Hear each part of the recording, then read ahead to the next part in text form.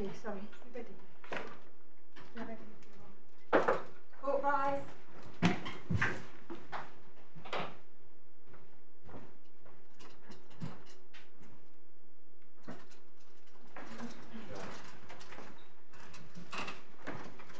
Yes. My lord, can I now deal with ground one briefly, starting with the divisional court's single paragraph analysis on this at paragraph 34 of its judgment.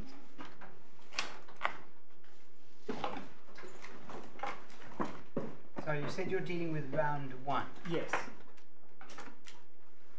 What do you mean?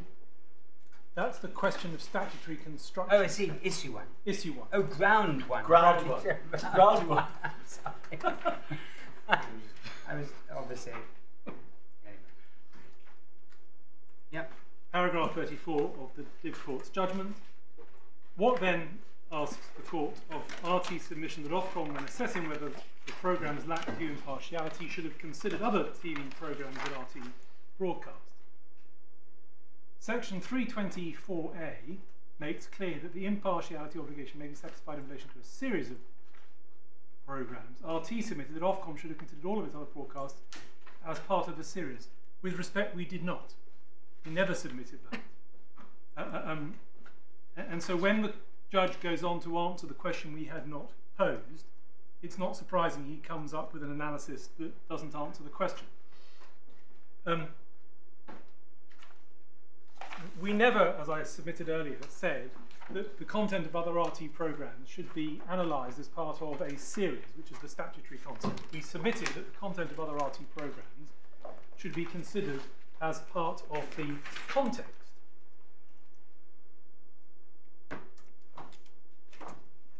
And more than that, the divisional court, going further than Ofcom, considered that no programs on RT, save those that are editorially linked, could be taken into account. And with respect to Millennium friend Mr. Kennelly and his team, they don't seek to support that analysis. Um, but they do say that although adjacent programs can be taken into account, even if not editorially linked, non-adjacent programs cannot. Um, and we say that there are three flaws in that argument. The first is that it is not that dividing line between adjacent and non-adjacent is nowhere to be found. That word doesn't appear anywhere. does it? Doesn't appear anywhere It's before and after. Before and after. Doesn't appear in the statute. Doesn't appear in the code. Where it's used, it's used twice, and both times it says before or after. My lord, yes. Yep. Second, in our submission, it is illogical to distinguish between saying that adjacent programs are relevant and non-adjacent programs are not. Uh, um, could I ask you, in that context, to look at Ofcom's skeleton at paragraph 34, where they seek to explain this? This is at tab 6 of the core bundle, paragraph 34.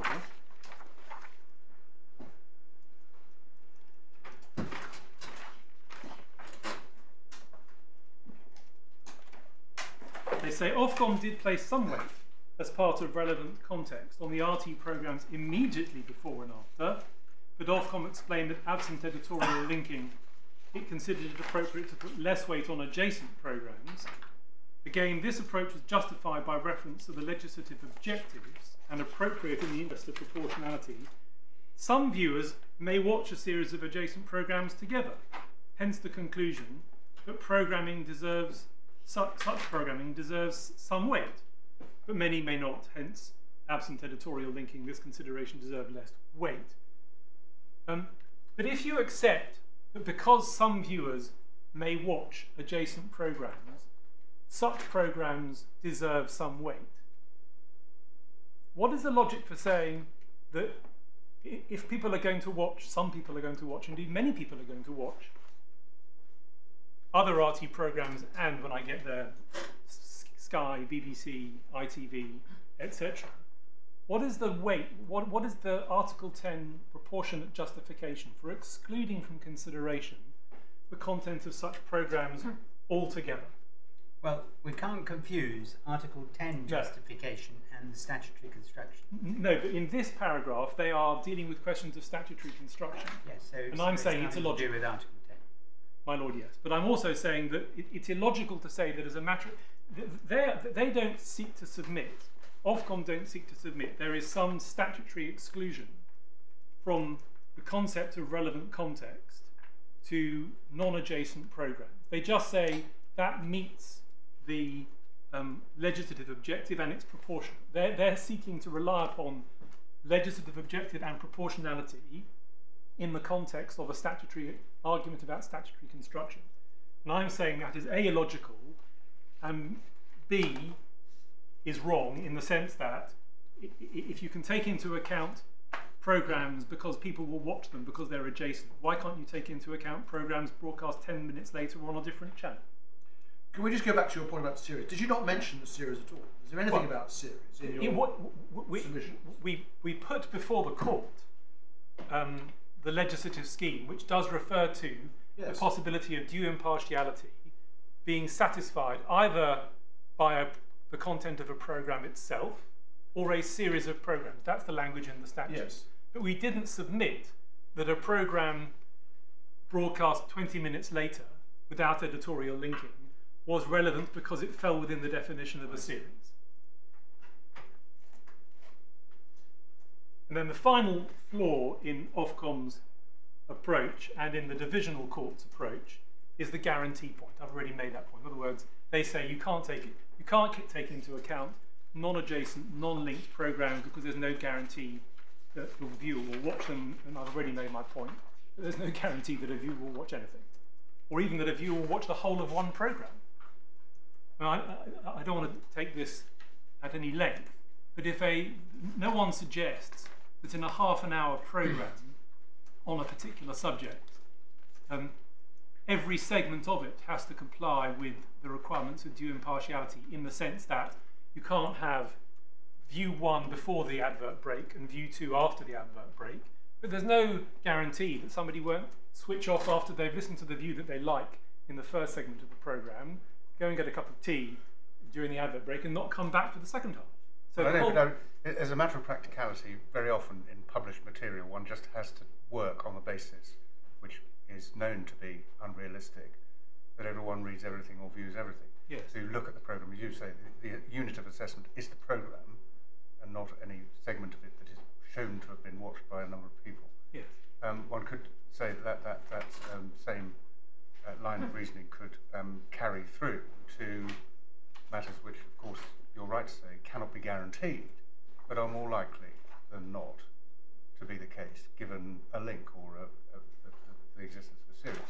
Well, I mean, as it is for Ofcom, and I now, I now, I- now accept I'm segueing into Article 10, but as, it, as it's for Ofcom to justify interference, there, there- there's no evidence before the court that um, most viewers are more likely to watch a program editorially linked a week later than they are to carry on watching the immediately adjacent program or the, or the evening news 20 minutes later. Was this a? Is it RT a rolling news channel? Yes. I, I mean, it's. There's someone shaking their head at the, from the Ofcom side. I mean, I. I I'm not. Maybe, there's a difference of definition. What does my lord mean by rolling Well, news? it's a, it's, a, it's a phrase used somewhere in what we've been reading too. Is as I understand, a rolling news channel is one which the news is on 24 hours. No, no, it's not. It's not only news. It's not like BBC News 24. Yes, so it's not. It's. I, I suspect it's more like, and I, I'm going to be giving evidence, and I'll be told if I've got this wrong. It's a bit like CNN. There'll be news programs every hour. There'll be current affairs programs interspersed in the middle, etc. It's not constantly news and nothing but news. Thank you. That's all I want to say on ground one. Can I now move to ground two, Article 10, and deal briefly, because I know it's very familiar territory, with the case law. Um, the first, which I can spend just two minutes with, is the Redmond Bate case. It's the case about the Christian fundamentalist uh, preachers arrested outside the steps of Wakefield Cathedral. Uh, um, its authorities bundle volume 1, tab 9, just one page to look at. Redmond is tab 11. I beg your pardon, tab 11, thank you. That's authority bundle 2. Tab 11, thank you. Um, page 798 at the top. Judgment of Lord Justice Sedley. Letter D. Mr. Keeley, that's the prosecutor's counsel, was prepared to accept that blame couldn't attach for a breach of the peace to a speaker so long as what she said was inoffensive. This will not do. Free speech includes not only the inoffensive, but the irritating, the contentious, the eccentric, the heretical, the unwelcome, and the provocative, provided it does not tend to provoke violence. Freedom only to speak inoffensively is not worth having. And then there's a reference to Speaker's Corner. Um, th- that's what I wanted to say about, or to draw your attention to in that case. And it's, in my respectful submission, this goes back to the point um, that my lord, the master of the rolls, referred to earlier in argument about the extremity of the views. There's a sense in the in the Ofcom decisions. uh, um, there's a sense in which um, Ofcom seem to be saying that because your views are so extreme, uh, that there's e- an even greater um, obligation to put the other side of the argument. And that doesn't square easily with what is said here.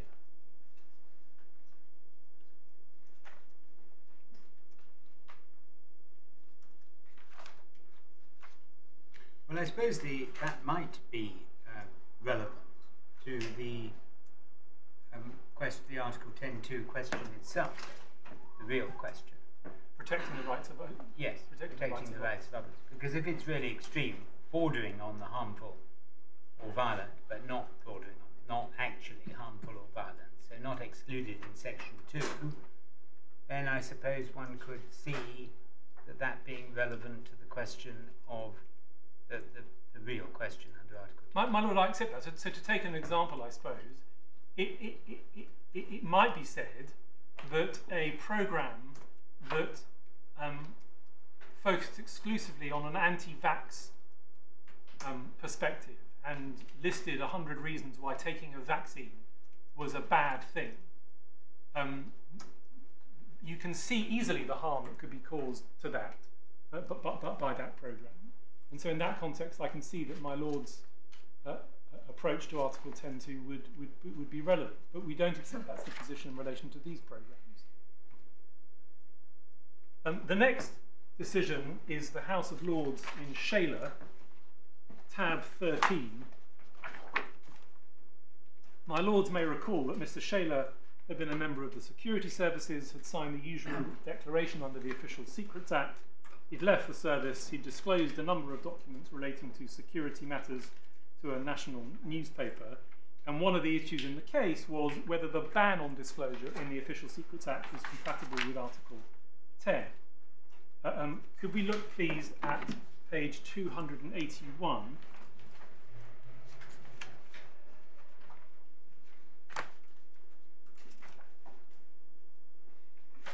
281, of the appeal cases report, right. which um, in my bundle is 333 at the bottom.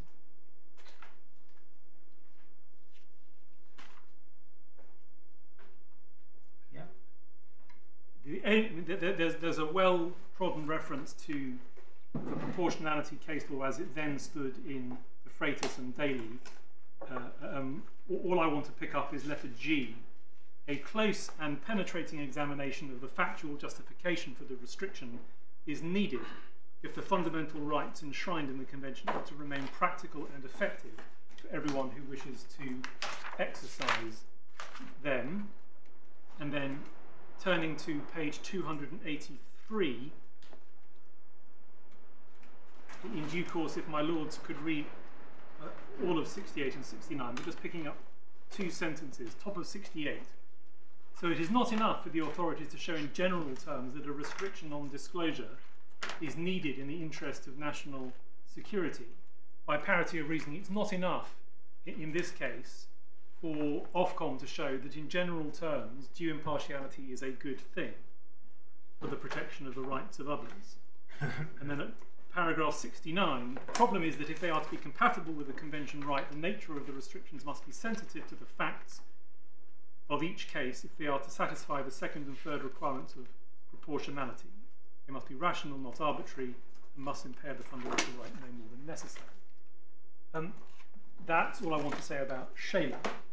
Can I then deal also relatively briefly with the animal defenders case, first in the House of Lords and then in the Grand Chamber? Um, my lords will have seen that the divisional court cited extensively from animal defenders across many pages of its judgment. And indeed, in, below, Ofcom suggested that that case was an almost complete answer to our claim. Nonetheless, when one comes to look at the divisional court's analysis of the Article 10 issues, at, at paragraph 64 to 73, there is, I think, one mention of the animal defender's judgment, and therefore almost no analysis of how the principles extracted from that case can or cannot be applied to the current challenge. And in our submission, that's not surprising because ultimately the animal defenders case and the judgments from the House of Lords and the Grand Chamber, in our submission, give very little assistance in answering the very different question which arises in this appeal. As my lords will recall, that case involved a challenge to the blanket prohibition in the 2003 Act on paid political advertising. It did not involve any issue concerning the meaning of the due impartiality requirement or how it should be interpreted and applied to the facts of the case. So all I'm going to do is take you to one passage in the leading speech of Lord Bingham to illustrate one point. But for our part, there is very little in that judgment um, that answers the questions at the heart of this appeal. Can we start, please? It's tab 16.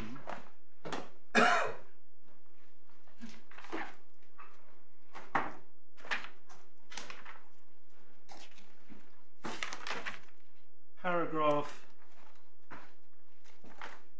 26. Could I ask my lords to read 26 through to 28, then I'll make one submission.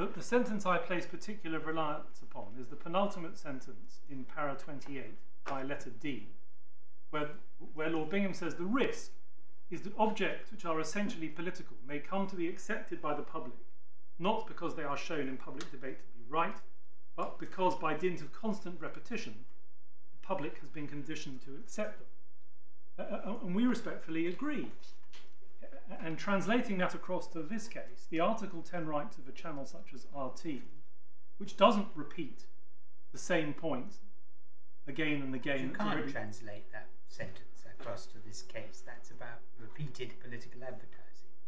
Um, I'll move on. Yeah, I mean, I mean I don't want to make a submission that's unattractive to my lord. Or, or, or, I mean, perhaps, perhaps my lord's observation simply emphasises the point that nothing in the animal defenders case answers the issues at the heart of this appeal. I think my, my, my, my submission was simply, if, if anything, it points the other way, but I'm, I'm entirely content with a judicial conclusion that it doesn't really help one way or the other. I haven't reached a judicial no, no. conclusion yet. No. I'm that sorry. comes after the I'm, argument. so- I'm sounding presumptuous. I- I would be content. um, then the Grand Chamber, my lords, um, that is in Authorities Bundle 1, tab 8. Um,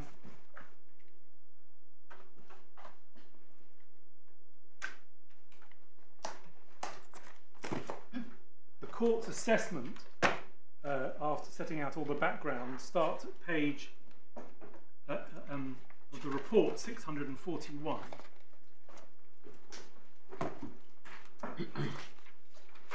Paragraph 100. So the court starts with recapitulating the general principles. Sorry, which page are you on? 641. And this is the majority. This is the. Is I'm not going to take you to any of the minority judgments. It was a 9 8 majority. It was a 9 8 majority. There was one concurring single opinion from Judge Bratza, then there were eight dissenters, grouped in two sets of judges. Um, so, um, this is a recapitulation of the principles from the Mouvement raëlien suisse against Switzerland case. Um, I just ask you to read um, the whole of the indented passage in paragraph 100, because this is Strasbourg Grand Chamber important statement of principles.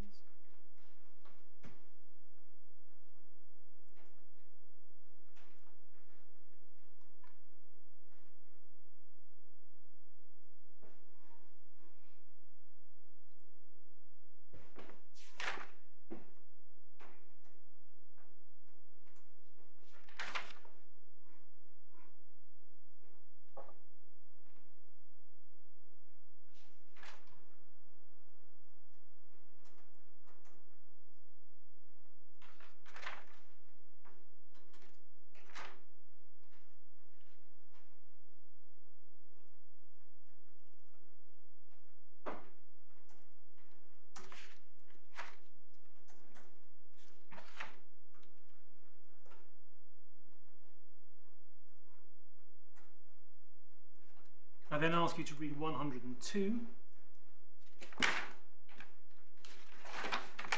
and 103 to 104. So basically 102 to 104.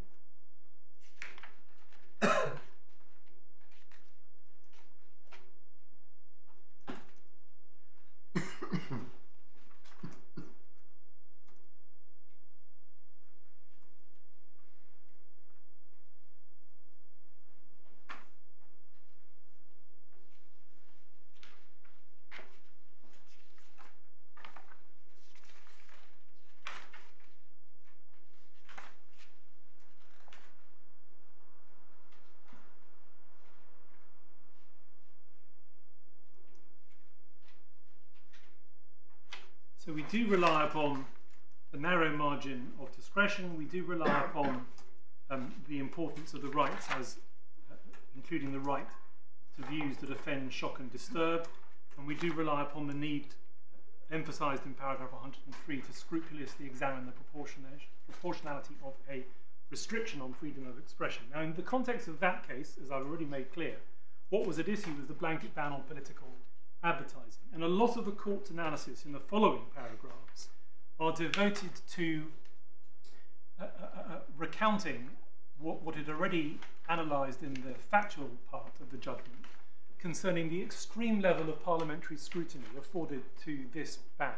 My lords may recall from the judgment that there had been um, several um, uh, parliamentary committee reports on the, considering the matter.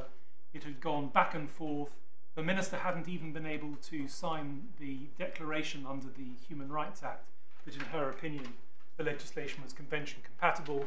There was a lot of discussion about different perspectives in different um, convention member states on the ban on political advertising. There was no there was no consensus of European opinion. And the court ultimately said, look, Parliament has rigorously and carefully thought about whether this ban is proportionate. It's thought about whether a more uh, um, nuanced ban would be capable of being uh, um, in, enforced, and it's, and it's finally come up with a judgment that it can't be. And we, the court, um, ought to give uh, uh, respect to that view. Um, and, and although that um, ban was part of the same act as the present due impartiality requirement, and uh, uh, um, the divisional court, like Ofcom, make a lot of the fact that it's all part of a package of measures, uh, there is no suggestion at all that the due impartiality requirement was subject to the same level of parliamentary scrutiny as the ban on political advertising. Still less that there has ever been any parliamentary scrutiny of the very questions that we are considering in this case, namely precisely what can and cannot be taken into account within the context of adjudicating upon whether the standard has been met. You're making that point as a, as a distinction, but not as a not as a um, forefront as, a submission at the forefront of your argument. Agreed. That's a fair characterisation. Uh, that's all I want to say about animal defenders. And the last case is one I've referred to already, the Gaunt case, tab 10. Um, in short summary, Mr. Gaunt was a radio talk show host who, on the day in question, was interviewing a local politician from Redbridge Council about that council's proposal to ban people who smoked from being foster parents. Um, and as will become clear, he had some very strong views about that. Essentially, he had been fostered himself uh, by a lady who had smoked. He thought she was a fantastic foster mother, and he basically thought it was an outrage that children should be left in children's homes when they could be fostered just because the mother happened to be a smoker. Uh, uh, um, so just picking it up at page 228 of the report, 245 at the bottom. Could, could I, could I ask my lords just to read Um, the non-indented part of paragraph 5?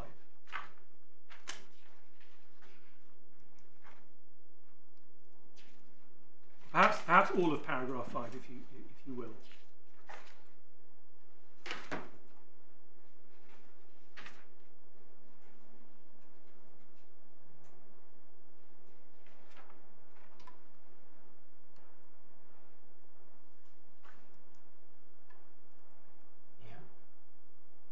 Paragraph 7, the applicant's radio interview with the councillor lasted just over 10 minutes. In the proceedings which follow, the President of the Queen's Bench Division summarised the interview in the terms set out below. Uh, and there are references then to the councillor being a health Nazi or a Nazi, etc., etc. And then at the bottom of the page, last paragraph, it is scarcely possible to convey the general and particular tone of this interview in a short summary, and the full transcript is in this respect incomplete. You have to hear it for its full impact. As we have said, it degenerated into a shouting match from the point when the claimant first called the councillor a Nazi. That first insult was not said with particular vehemence, but you ignorant pig was said with considerable venom and we think gratuitously offensive. The interview as a whole can fairly be described as a rant. Um, Ofcom then commenced an investigation. You can see that from paragraphs 10 to 12. Um, you can see at paragraph 11, Ofcom launched an investigation into the matter under the code Talks, Talksport, that's the channel, said it regretted what had happened, accepted that the interview fell below acceptable broadcasting standards.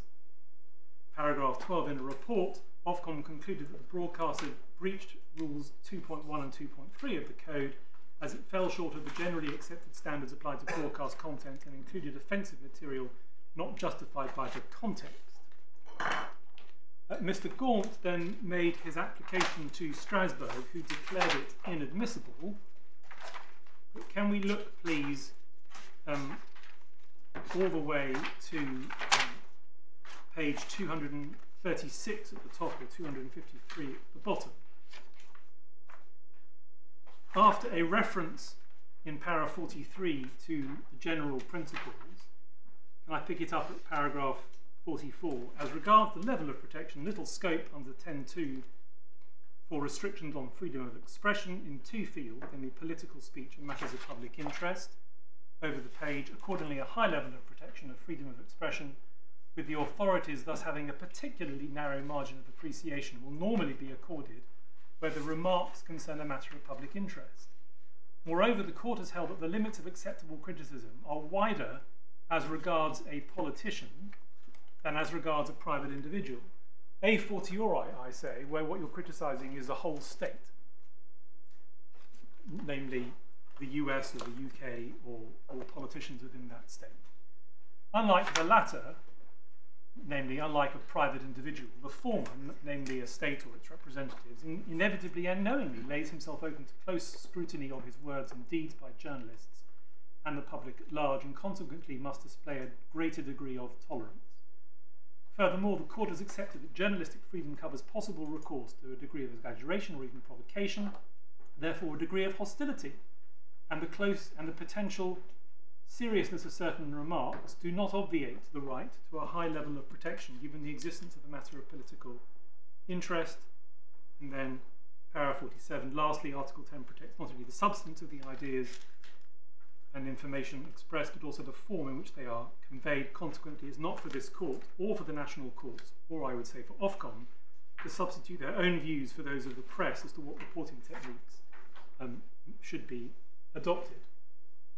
Um, in our respectful submission, it is very difficult indeed to reconcile those important principles with the approach taken by Ofcom in its breach decisions that said, well, we know that you gave Ambassador Murphy airtime, but you were, you were pretty rude to him because you interrupted him too much.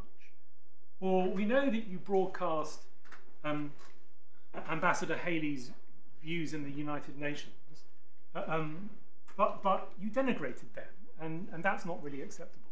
That, although Ofcom say they're giving effect to Article 10, as I say, it's very difficult indeed to reconcile that approach with the principles here. Um, that's all I want to say on the case law on Article 10. Uh, and I can now um, deal with the remainder of my submissions on ground 2 um, very briefly. I've already said that nowhere does the breach decision analyse how the rights of others were being protected by interfering with the free speech rights of RT and its audience. And that is so whether one formulates the rights of others as a right not to be harmed or misled, which is one way that Ofcom have put it and that we put it, or whether you formulate it by reference to the democratic right to be exposed to a range of political views on TV news programs. E even if you formulate the rights of others in that broader way, our submission is it does not follow that that is to be judged in a general and abstract way, divorced from the real world impact of the programs. In other words, de defining the rights of others more broadly does not obviate the need rigorously to assess whether, given the program's content, assessed in all of its context, including the dominant media narrative, the audience's right to fair democratic discourse actually required protection by the regulator taking enforcement action against RT. And in making that submission, our case has always been and remains that you have to look at each program in the real world, in the round, keeping in mind all the contextual matters identified in our written arguments. And just, just to remind you, because I'm conscious of the time, if my lords turn to our skeleton, core bundle, page 44. Paragraph. Paragraph 54. If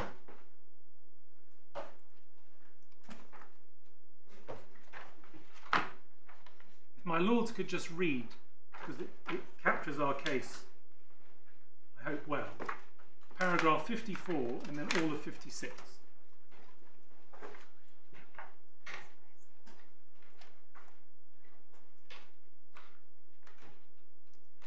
That's your case. That, that, that is our case. We've read that. Right. Well, I, I won't. Well, okay. I, I, I'm not going to go through them all. Uh, Um, Ofcom's primary answer to the first three factors, namely the likely expectation of the audience and the content of the programs and the content of the programs adjacent, was to say, well, we did refer to them, and ipso facto, that must be a lawful approach. To which we say, no. Uh, uh, um, what you didn't do was assess the likely impact of the programs on the audience and to what extent, if any, in light of all of that, it was necessary to take steps to protect the rights of others, whether the right not to be misled or the right to. So what should they have done? Well, they should have considered the content, considered the audience expectation, considered the dominant media narrative, and asked themselves, in circumstances where it is abundantly clear that anybody other than those with a tin ear would have known the view that Russia was to blame for Skripal, for example, do we need to take regulatory action interfering with RT's free speech rights by penalising them for not repeating that view again or, or not giving that view more weight again on their own programme?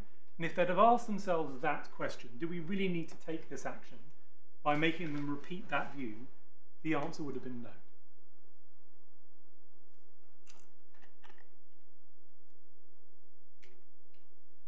So that's the answer to my previous question. That you would say that no um, statement of the opposing view is necessary in this context. Yes, I, and by saying yes to my lord, I don't accept that there was no statement of the opposing No, view. I understand that.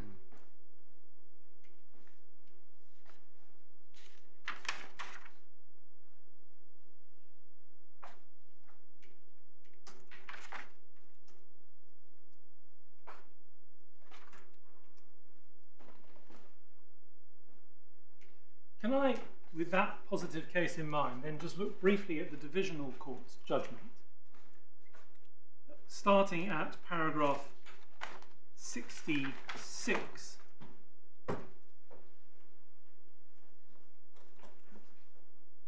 Maybe we ought to pick it up at paragraph 65.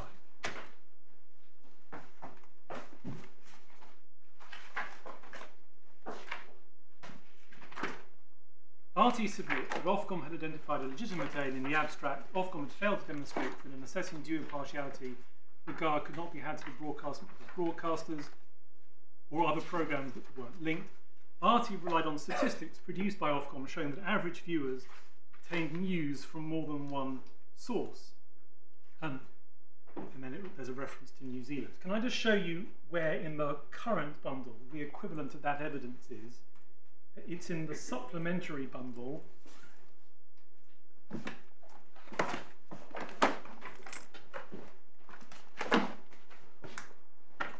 Final tab. This is the 2020 equivalent to before the divisional. It's, it's materially identical.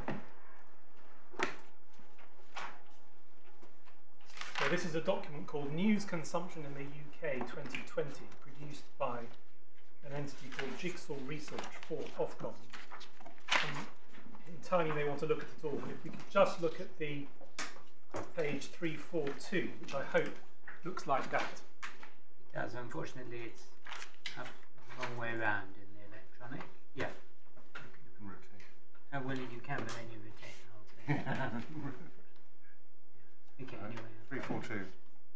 Yeah, it, my Lord or Justice will be. It, look, it looks a bit like that, but not a bit. It looks like that. Uh, It's some bar charts. I'm not sure that three, four, two has come out as a number. What's the internal number? Uh, 65. I think. Yes. Okay, that's, that's what I've got. Thank you. The top of the page it says the average number My of news sources right. Very good. remains so good now that you can rotate it and rotate it back. How wonderful. Um, the average number of new sources remains flat, with 6.7 individual sources being used across all platforms. And then you can see that set out in the left-hand set of columns, at the bottom. Um, and then on the previous page, could I just ask you to look at the top box under summary of key findings? TV remains the most common platform for accessing local news and news within the nations. BBC One remains the most used source. BBC One and STV are joint top in Scotland. Um, I think in the in the divisional court we had a kind of league table with BBC and then Sky and ITV. We don't seem to have that here, but probably don't need it. Anyway, that that that's evidence to which the divisional court was referring. And then what it said about that is in paragraph 66. The figures I was thinking of are in page 340. TV remains the most used platform for news, followed by the internet. 60, 75%, 65%, Yeah. 45% social media. And it obviously varies by demographic group. Yeah. But this is this is what you were referring to when I asked the question about overlap. Yes.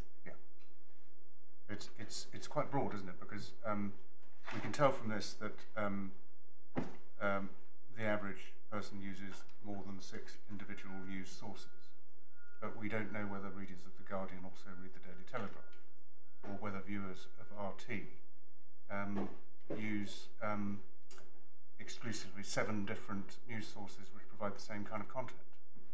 No. No. A- a- a- a- and that's part of what the divisional court was saying in paragraph 66. Essentially, what the divisional court said is, well, there's a danger of there being an echo chamber. Uh, Yes. i- Well, that's exactly. But th- th- these figures don't don't give us an answer. Uh, they don't. They don't show us one way or the other. No, you, you, you, you- you cannot exclude the possibility of somebody with certain views only ever looking at the views that suit them. But you can never exclude that possibility because if somebody doesn't like um, left wing views, they'll only watch, I don't know, um, Right wing programs. right wing programs Yeah, and read right wing newspapers The whole point of due impartiality is not to exclude the possibility that people will want to watch things they agree with, but that when they do, they'll get a impartial and adequately impartial view. And so that, I mean, it, it's cloud cuckoo land to say that, um, you know, all readers of The Guardian are going to read the Daily Telegraph and the Daily Express as well to give themselves balance. I mean, that may be something judges do, but it's probably not something that a lot of people do.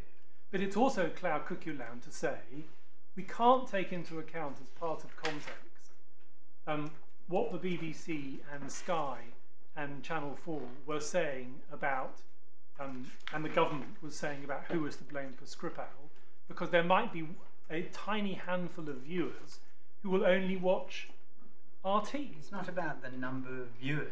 It's about the the the nece- whether or not action is necessary to, in the interest of democracy, and to protect the rights of others. And I, think you the the problem you have, it seems to me, is that the statute, I mean the law that is also required in Article 10.2 makes the unit of assessment the program.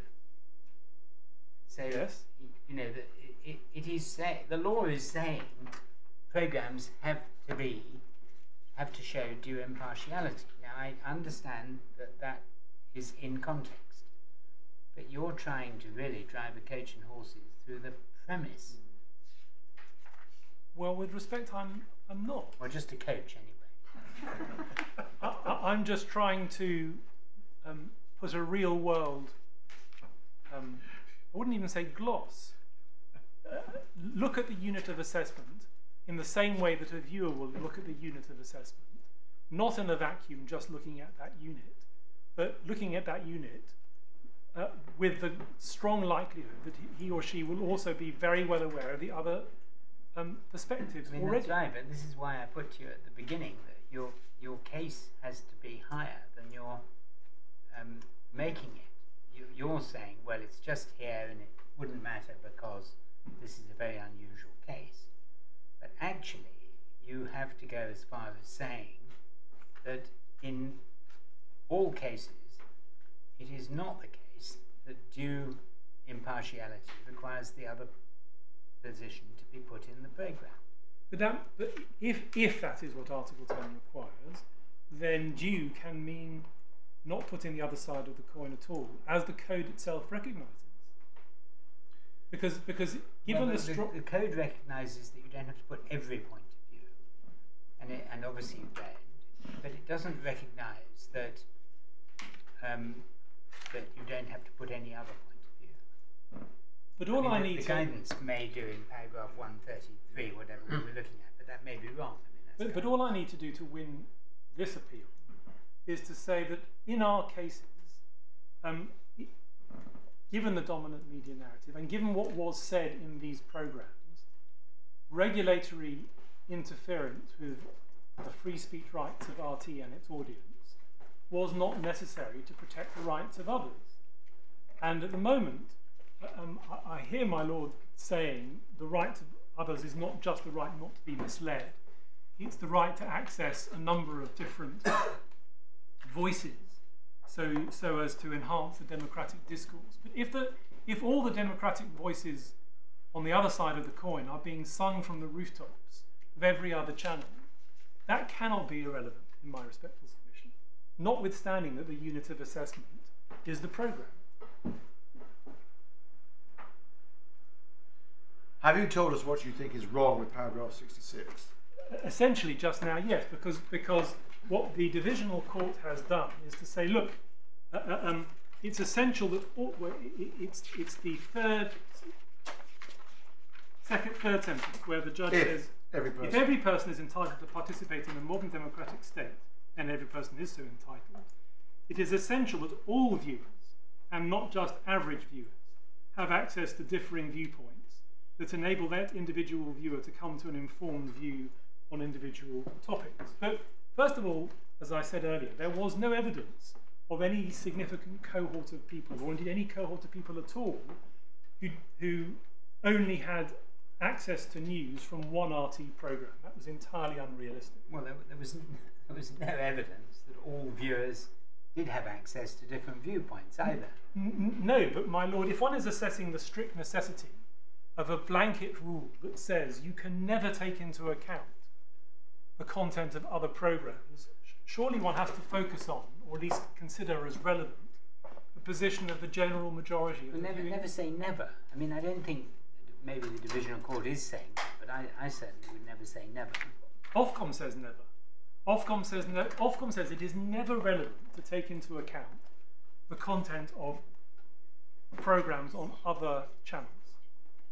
Well, I, I don't know how anybody can say never because we can't imagine a different kind of news story. I mean, you gave anti-vax as a, um, an example. The factors raised by anti-vax are very, very different Agreed. from the factors that we're dealing with here. And if we were thinking about this subject in the context of anti-vax, I'm sure there would be dozens of different arguments. We have to be very careful not to stray to the general from the particular. I, I respectfully entirely agree. That's my positive case. That's why I say if it is too extreme to say the dominant media narrative can never be relevant, then there is a mis- there is an error in the divisional court's judgment, and there is an error in Ofcom's approach because they do say the content of the dominant media narrative can never be relevant at all. And if if the dominant media narrative Can you just, can just point me to where they say that? um, I'll find you their skeleton.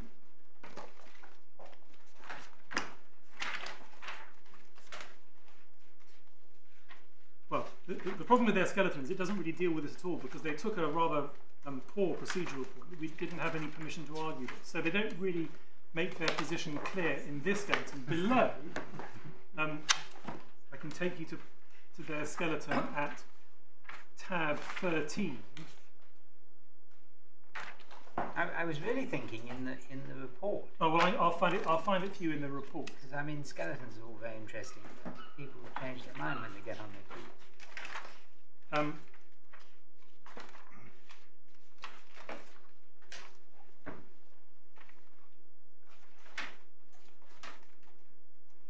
the, the, the, way they analysed it in their report is at page 337 of the core bundle.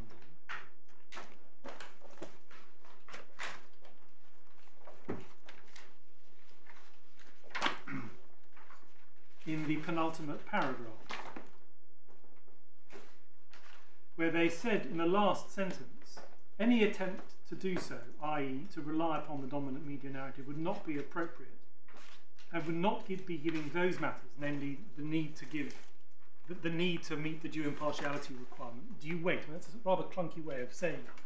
But in every single case, when they come to apply that, they basically ignore the dominant media narrative and their, their written case below, their oral case below, um, and so far as I apprehend their case in this court will be, it is never appropriate to take into account the content of the dominant media narrative.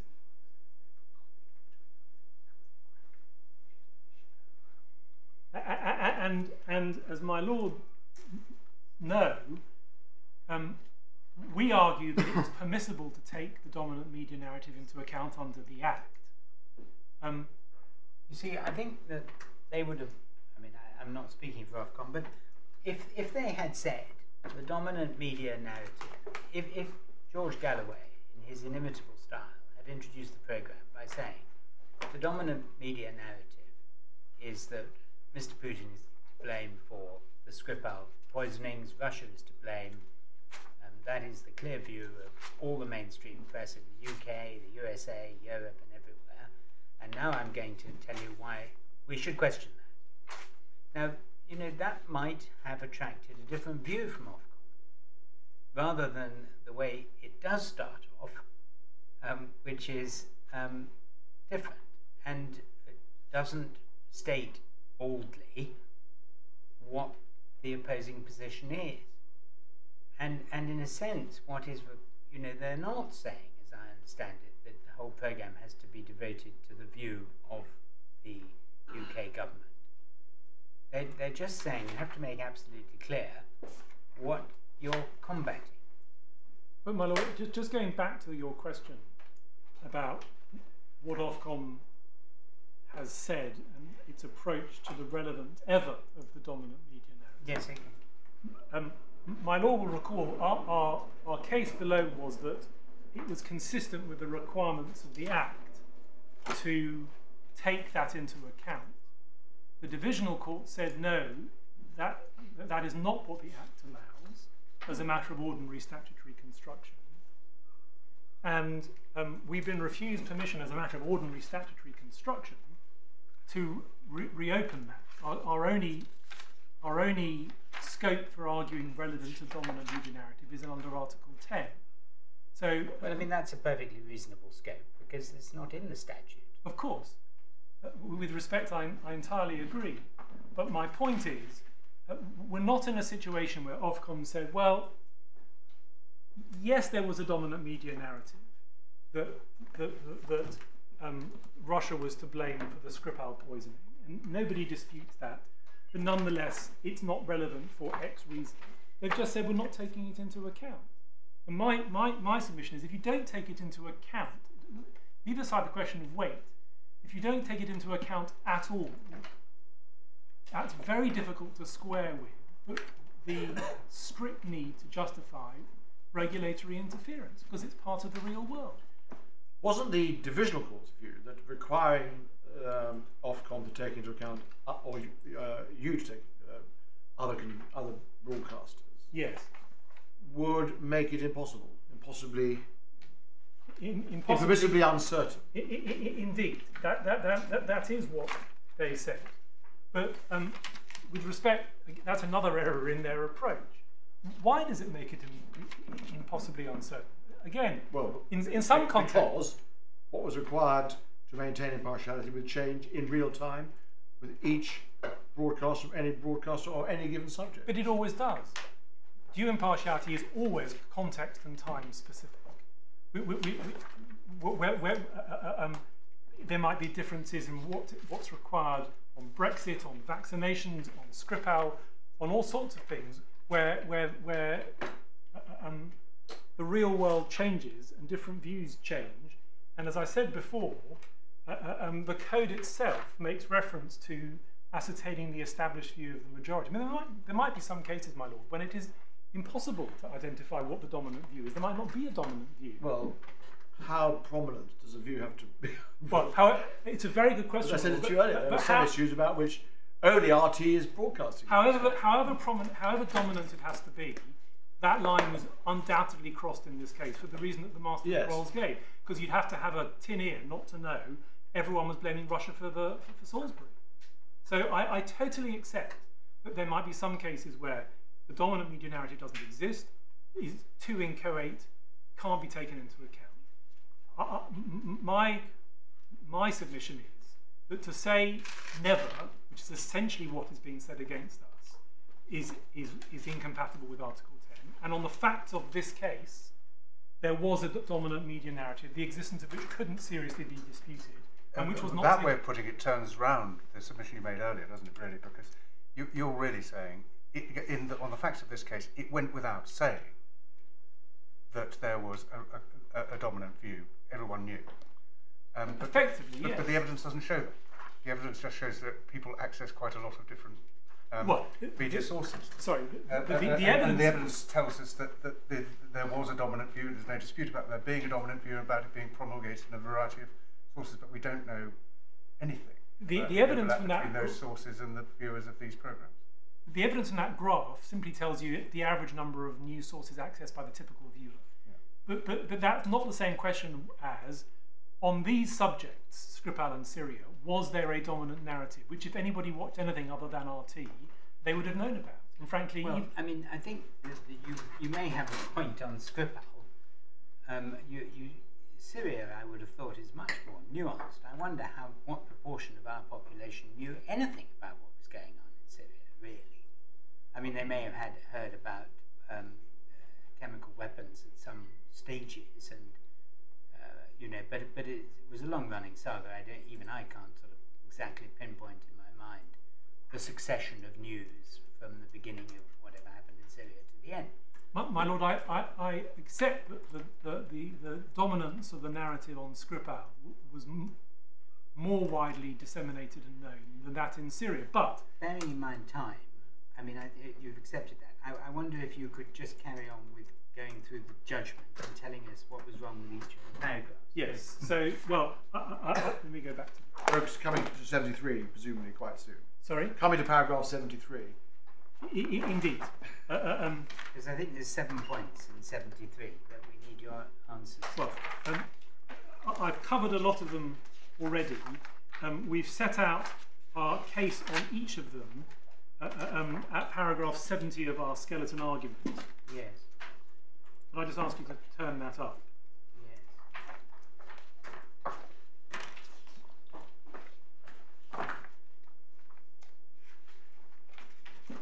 And to a, to a significant extent, what is wrong with the analysis in 73 of the judgment is encapsulated in what I've already said, and to the extent that it's not, it's picked up in paragraph 70 of our skeleton. Okay. Um, well, is that right? Um,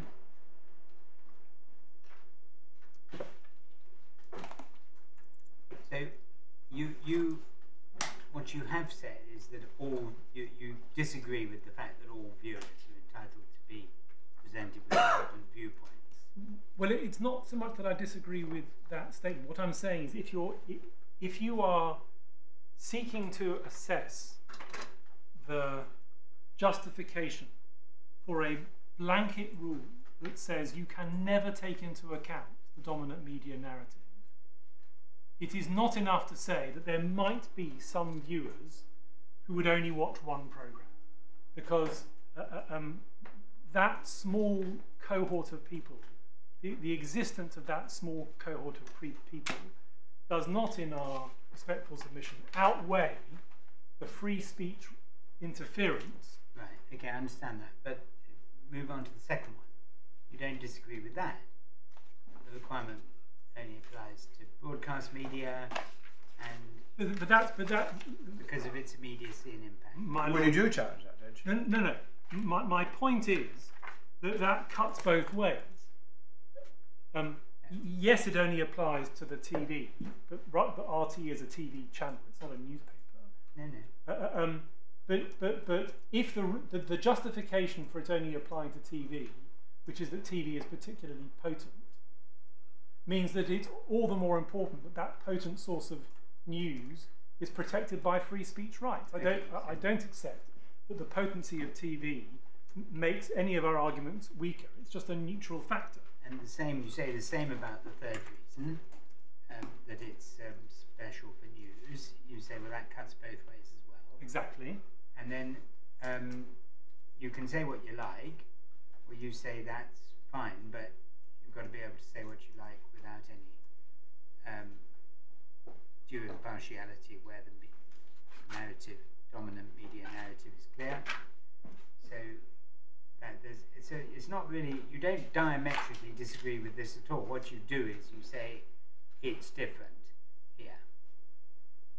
That's what you really say. Well, they're either neutral factors Yes. or they're insufficient to justify the interference. I mean, the only one you really disagree with is six. I certainly, I certainly disagree with the, the impermissibly uncertain point.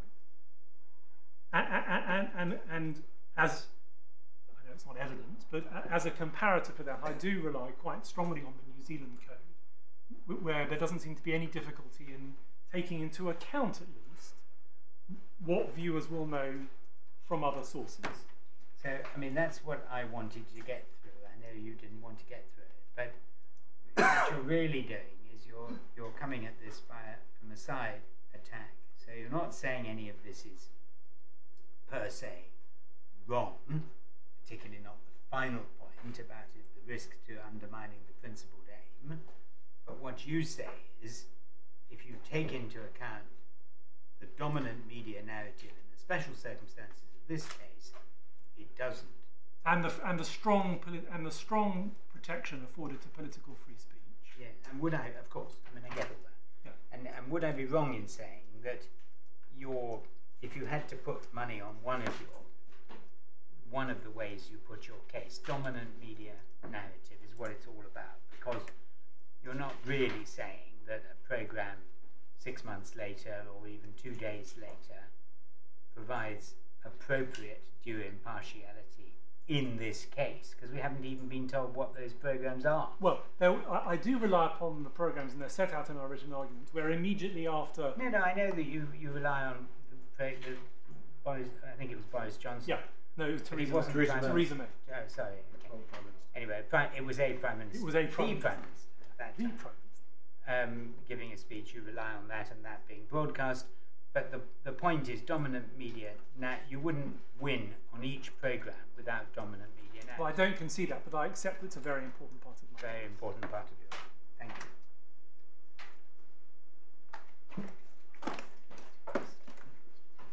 Thank you, my lords. Thank you. Anything else? No, thanks. No, thank you. Yes.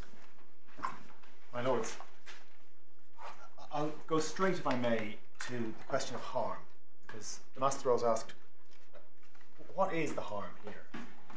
And I think it's been clear in discussion between Learned Friend and the court that the harm here is not that viewers were misled. Ofcom isn't in a position to know uh, who was behind the assassination attempt of Mr. Skripal and his daughter.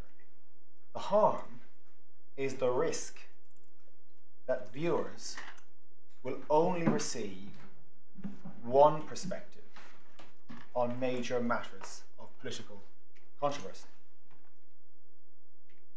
That is the harm that is sought to be avoided. And why is that a problem, my lords? Well, we, we deal with this in the decision, in the Ofcom decision. Now, if I could ask you to turn to that in the core bundle at page 335.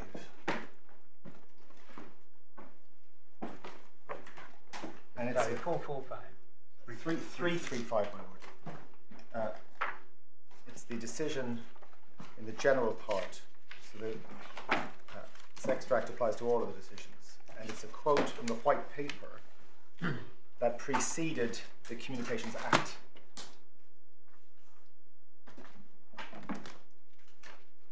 And it's a short passage. but an important one in terms of setting out the purpose behind the due impartiality standard. And so I'll take, I'll take you through it in stages, if I may. Uh, indented passage uh, uh, near the top of 335 says one of the cornerstones of broadcasting in the UK has been the obligation on all broadcasters to present news with due accuracy and impartiality. There are also important impartiality obligations applying to other programming.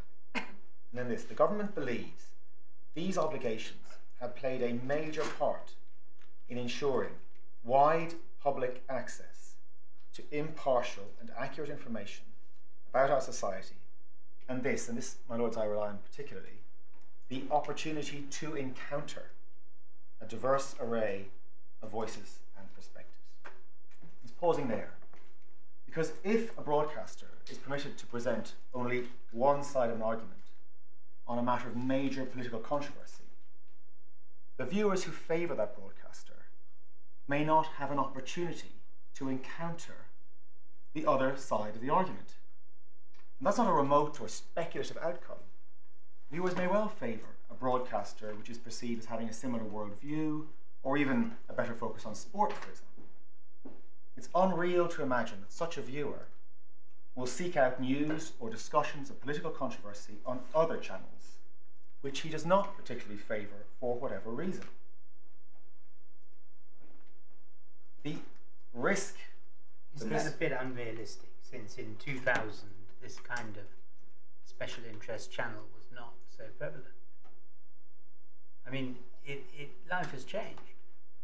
You know, people get news from the internet, people get news from everything else. Um, the, the, the world in 2000 did not have the situation it's got now, with more than 50% of people getting news from social media and the internet, and um, a, a reducing number of people going to get broadcasters, and the number of broadcasters we have with special interests that we never used to have Al Jazeera and French news and German news and goodness knows what else. My lord, the next sentence in this indented passage addresses the concern my lord raises. Because it's not just the, the opportunity to encounter, to not just have available to oneself, but to be required to meet diverse array of voices. This ensures that broadcast media provides a counterweight to other, often partial sources of news. And that factor, my lord, is a stronger factor in favour of due impartiality now than it was in 2000. So the import, the fact that the internet works in the way it does, where to some extent you, you don't choose what you access, it chooses you the way it Yes. works. That makes it all the more important that Precisely. broadcast media, which depends on old-fashioned viewer pressing the remote control to access, has this partial impartiality. Indeed. It's, it's, it's the importance of the requirement has grown with the increase of loud and biased voices through the internet and social media. And this is what Parliament foretold in 2000, and it's uh, true, truer now than it was then. And why is that important, my lords? Because, next line in this passage, they therefore contribute. The fact that there is this counterweight, the fact that one can get due impartiality, not perfect equality, but due impartiality in broadcast news, contributes therefore significantly to properly informed democratic debate. Because it's all very well, my lord, saying that there's multiple sources of news out there, particularly on the internet, but there may be multiple sources with the same perspective. The- One, the- one of the things I've been wondering is um, when we look at these figures, are we actually looking at the same news? I mean, when we see that people have seven sources, I mean, some people may just go there to find uh, trivial stuff about footballers and celebrities. yes, Um, that may be six and a half of their sources, indeed, my and, and other people. So, do we do we know we, we, in the we don't, that we've got? We, we don't know. We don't know. And so at Ofcom, in the absence of perfect knowledge, which even Ofcom with its resources cannot achieve, and this is not Ofcom, this is coming from Parliament, a scheme is being created which tends to assure, to the extent that it can, as far as practicable, that everyone is forced to confront alternative views on broadcast news, even if they don't necessarily want to. And that's, is, that's required to ensure properly informed democratic debate. And I mean, it's just it's just all a little artificial when when you have television stations that avowedly are one-sided. So the BBC, we understand, is intended to be impartial by its constitution and everything else, and we've seen the Broadcasting Act of 1954 in relation to ITN. But um, now we have a whole array of broadcasters who set out to be partial. indeed, my lord. Now, how does due impartiality work, properly work, as opposed to simply being um, by rote or, or paying lip service? How does due impartiality work where you have a broadcaster like this and, and, and several others? I mean, RT I don't think is unique. I mean, if you, you know, some people spend all their lives flicking through the channels, and I, I, I'm afraid I don't. But whenever I have, I have been absolutely astonished that there are broadcasters um, with a particular point of view. I mean, I didn't, you know, I the, the names don't even mean anything to me. Well, my lord, what you're describing is a complex policy choice. Complex. Policy choice. It's a, it's a question of how does one, if the object, the objective is to ensure, so far as is possible, properly informed, Mm. democratic debate the good of our democracy, Yeah. how does one best secure that? There are no guarantees. Parliament, having uh, consulted after, before the 2003 Act, requires due impartiality in every programme uh, or series of programmes. but in a completely different world context.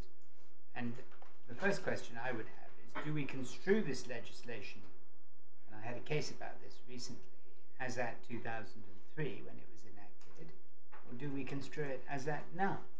Well, Mr. Binsey can make some submissions about that, but the normal approach is one construes it by reference to the date of the decision. It's the lawfulness of the decisions being challenged. Um, if you were being asked to challenge the, the whole statutory scheme itself, there may be a different approach. But you approach this as at the date of the decision. It's the decision that's challenged, the decisions that are challenged. But, but, but I, I don't shy away from the point that however unreal it may seem to my lord, Parliament has taken a view as to how to best secure properly informed democratic debate and with the internet in mind. And both the white paper and the divisional court of respect correctly identified the growing uh, multiplicity of biased news sources on the internet and the per- pernicious effect that, that can have on properly informed democratic debate makes the due impartiality requirement all the more important. And then ultimately, You my know, pernicious effect, words like pernicious effect are dangerous in the context of a station that attracts a few hundred, maybe a few thousand viewers. I mean, we're not, the, the, the, there is a difference here. I mean, if this were a BBC broadcast attracting a million people for every news bulletin throughout the day, you know, you, you might have pernicious as a good word. Here we're talking about a limited effect, and yet you still have to show it's necessary. Yes, and my lord, the, the, the, the 2,300 and so viewers of RT and the expectations of those viewers is factored into the assessment, which is hmm. why a, a certain degree of bias is permitted on the part of channels like that. That is, that's, it is, it, it is factored into know the you, assessment. that's said. That's said very It- clearly. Indeed, indeed. But there's a basic minimum standard of due impartiality, which is required for everyone. And own friend made submissions about, well, there may be, a, say, there's hundred broadcasters. In fact, there are 2,000 TV licensees in this country. And but he says, let's say there's a hundred, 90 are expressing one view. Why can't the 10 express the diametri- diametrically opposite view? Wh- Where do you get? I mean, that, that submission crept in, if I may say so.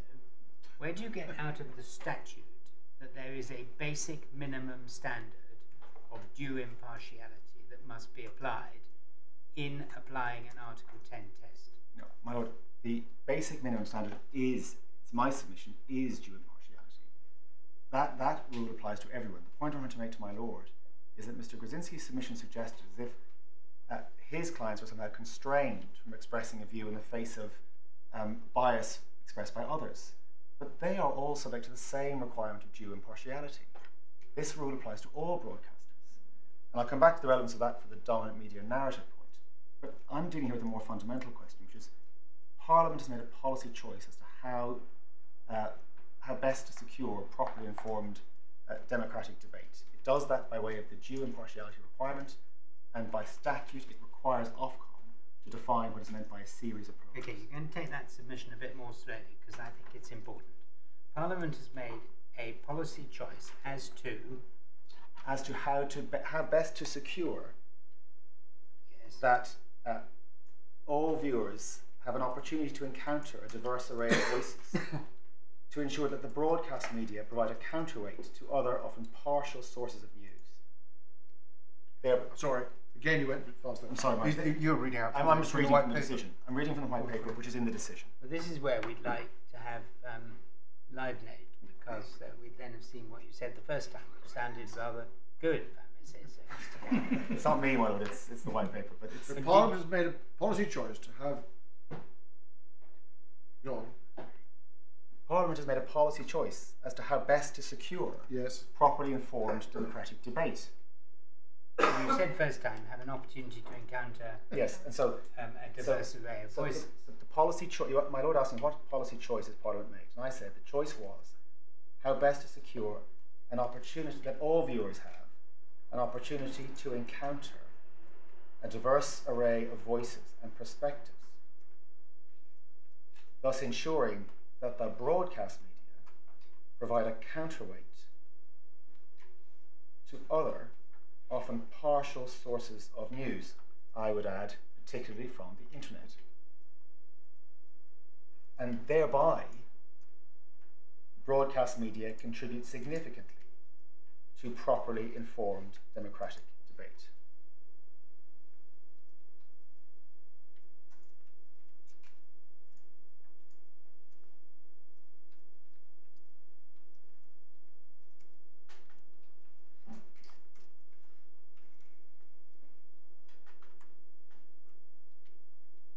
Because Yeah. Because the concern that the divisional court uh, had, and it's the concern that Ofcom expressed to, to them, what was the risk of the echo chamber? And, and this is not a speculative. The, the, by that I mean, and this is what Lord Justice Dingemans said, the risk that that viewers will only take their news from the sources that they like and will only hear views with which they agree, or views that are given to them on the basis of what they have indicated they like, as the internet operates. And the risk is that they will then never be exposed to alternative views. And, and my lord, in exchange, Mr. Brzezinski suggested, well, is that really realistic? But my lord, it is uh, a reality in other jurisdictions. And if I may say so, the elephant in the room for these purposes is not UK-Russia relations, as my friend suggested. It's the same elephant that was in the courtroom in Anim- Animal Defenders, which is the position in the United States. Because that, if you want to see what happens when there's no requirement of due impartiality, one sees it there. Sure, there is a vigorous broadcast media, uh, but, and here I'm giving evidence impermissibly and, and will correct me, but it would be surprising, as surprising if a Daily Mail reader was to subscribe to The Guardian, if viewers of Fox News regularly took their views from MSN. Uh, MSN It's as polarised as the, as, the, as the press media are in this country. Indeed, You would say. indeed, indeed, and and and where, And there is no requirement for due impartiality in any media in the States. as far as we're aware, in broadcast media, there is no such requirement. And then you have a situation where, uh, and one saw this particularly with the former president of the United States, where supporters start to question the very fundamentals of the democracy in which they live, on both sides, because they're never genuinely exposed to the views of the other side. That's the echo chamber. That's the very thing which the UK regime seeks to avoid. Sure, my lord, you could say, well, RT, it's got a small number of viewers. Is that really necessary? And that fact is taken into account as it did, as we did. in And, our and decision. are impartiality regimes in place in other EU countries? Sorry, in EU countries. In, uh, yes, there certainly is. Yes, um, and I can I can address you that in detail in the morning if you need more information. The First Amendment would probably rule out any. In the United States, the First Amendment would mean it would be impossible, and in fact, the, the House of Lords said so in. Defenders. But So, so this is, as I say, this is not some remote speculative outcome. This is the reality in another powerful Western democracy, and uh, th- that's the point we make uh, by reference to the white paper. Uh, Manana Friend speaks about the importance of diversity of views. It's not enough to have views out there in the ether. The scheme seeks to ensure that people genuinely encounter these views in a duly balanced way. The debate, the debate that we all agree that is necessary for a functioning democracy requires a venue. Do you say never? My Do you say that dominant media narrative can never um, be relevant to whether or not a program is duly impartial? Uh, certainly, in this case, we gave. I know you say in this case. Well, my lord, no, I- I'm, I'm, I'm going to be because the, the concept of a, of a dominant media narrative is so uncertain, so ill-defined, that it is impossible to make any submission about it in any constructive way. What we you, have said. see, you say that, and the divisional court said that, but is that really true? A dominant media narrative is uncertain in most cases, but in the extreme case, it may not be. Now, let's go away from this case, because some may say Skripal not a dominant media narrative, because that's the case for um, RT here. But there are cases where there is a dominant media narrative, which is quite um, clear, aren't there? I mean, I- don't want to give an example because I'll only be told it's it's a bad example. But there are cases where in our society some things are pretty well totally accepted. Um, and and it in relation to so so you've seen at the end of our skeleton right, an approach like this to make absolutely clear we, we our position is that we do not say never no. never can this be relevant we we have not shut our minds to the possibility that even for an unlinked non-adjacent program there may be a, context, a contextual factor to So, so would it be enough? Let's that that answer satisfies me. You'd never say never, and I would never say never.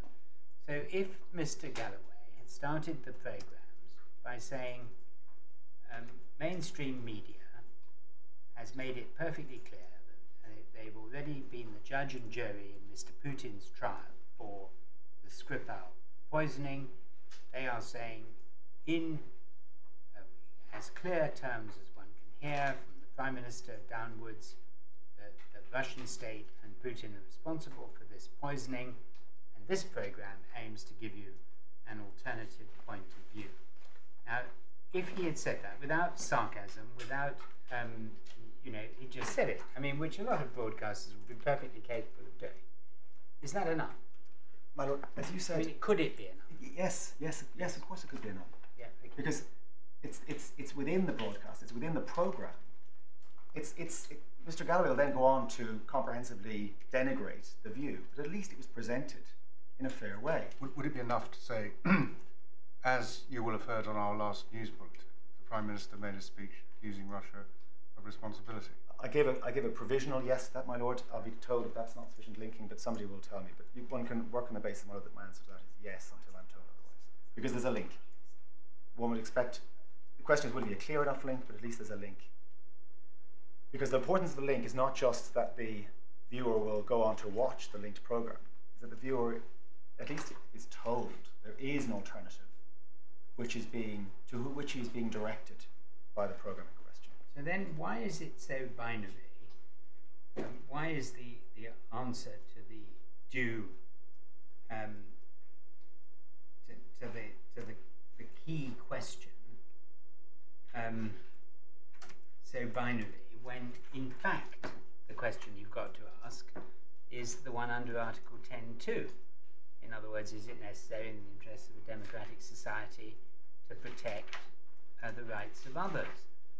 Because I don't understand how the two match up so as to get that um, quite clear answer. Yes, you have to have it within the program. Yes, you have to have it clear and not sarcastically given or clearly linked to it. But provided you do, you're okay. You don't have to bang on about it because the rest of the program is explaining another point of view. Yes.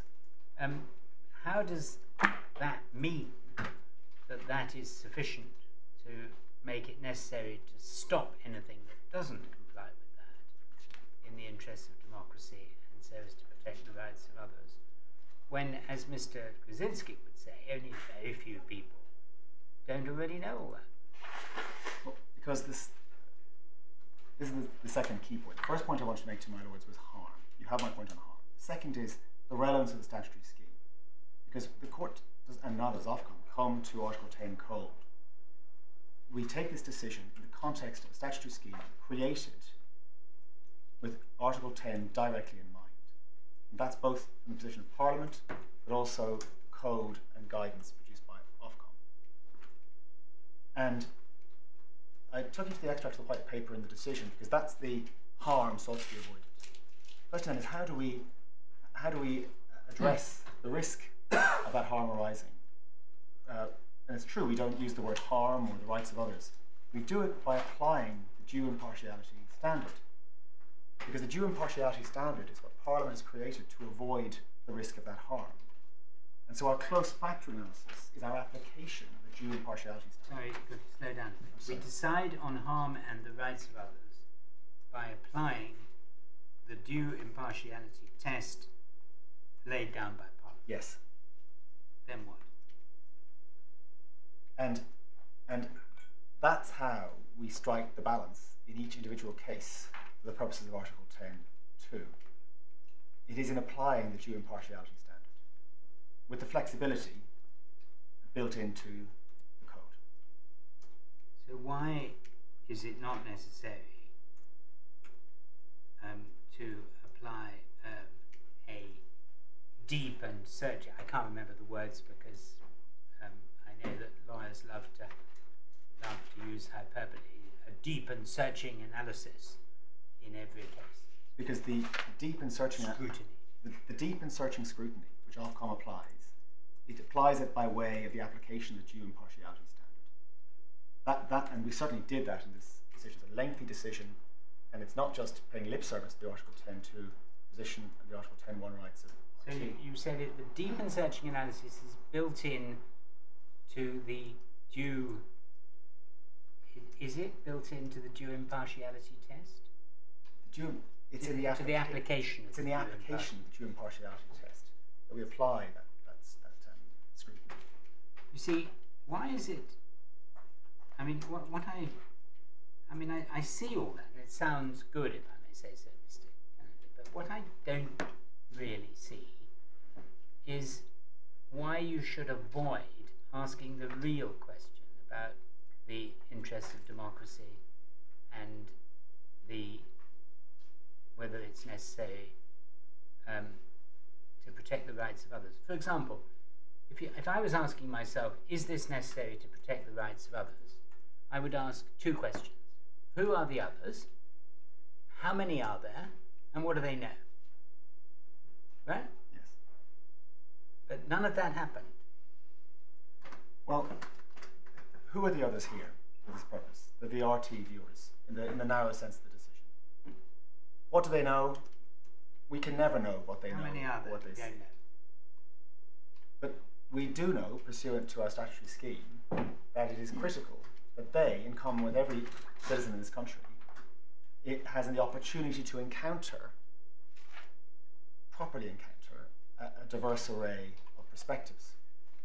So we are seeking to protect them as we seek to protect all citizens and all viewers uh, to ensure they receive this uh, diverse array of voices in order to avoid a situation where the RT viewers, it's the RT today, it could be the viewers of a Chinese state owned company tomorrow, to ensure that they receive a due, balanced view of other perspectives. Why don't you, in that analysis, look at just think about what they might have heard elsewhere?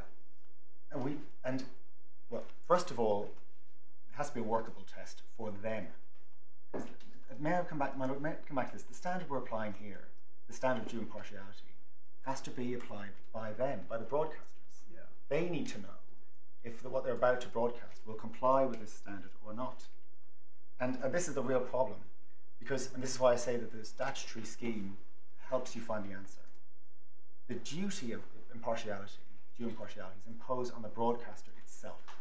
Each broadcaster has a duty on itself to preserve, and that's an important word, not to take account of or have regard to, but to preserve due impartiality in the series of programs or in the program, in each individual program. And that means, as a matter of principle, it's difficult to see how that broadcaster can rely on what third parties may or may not say, third parties entirely outside its control. What they may say will inform it as to whether what it's about to do will or will not comply with due impartiality.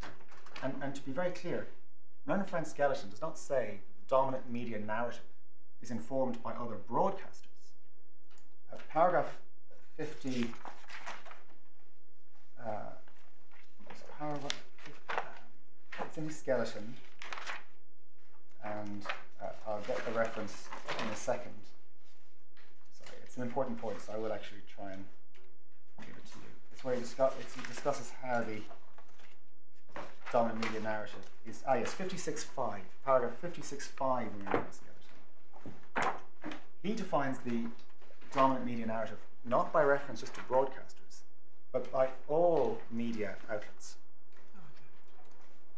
Broadcasters and other media outlets, he says. It's not limited to broadcasters. So, so how then is any broadcaster to know whether it's about to breach the due impartiality requirement? It has no idea what the 2,000 television licensees or the thousands. That's almost stupid because the dominant media narrative in China will be different from the dominant media narrative in England. It has to be in the UK. It has to be. Social media is borderless. So, um, in that sense, it really is uncertain. Yes, but uh, well, let's assume, in fairness my friend, that it's all media outlets uh, communicating with UK citizens. That's still thousands and thousands of different outlets. The content of what they're about to produce will be entirely unknown. And even if you say in the context of the Skripal uh, attempted assassination, one can guess, it's not a satisfactory way to set a statutory standard, to say that we can guess that there's going to be a barrage of anti-Russian criticism, and therefore we can produce something really quite biased, because we can anticipate um, that at least the large broadcasters are likely to Is, is there a point, more I'm sorry to interrupt you, Mr. Kennedy, is there a point about the dominant media narrative being different for the viewers of RT? I mean, the viewers of RT are likely to have a particular interest in Russia, and they're likely to get a dominant media narrative from their Facebook about Russia, and then their dominant media narrative may be exactly Putin based. Well, well, indeed. And, and our duty is to ensure that they are protected, that they, even though they may not want it, are exposed to um, alternative viewpoints to preserve democracy in this country. And, and we do that by imposing this due impartiality requirement on all broadcasters. And, and th- to the extent that they have different expectations in different viewer um, bodies, that's, that is in the flexible standard we apply. Um, so, so the, the idea, first of all, the, idea, the concept of a dominant media narrative is, is far too vague to form the basis of a condition in a statutory code. It's impossible to predict how, uh, what it even means, so that a broadcaster would know how to avoid breaching it.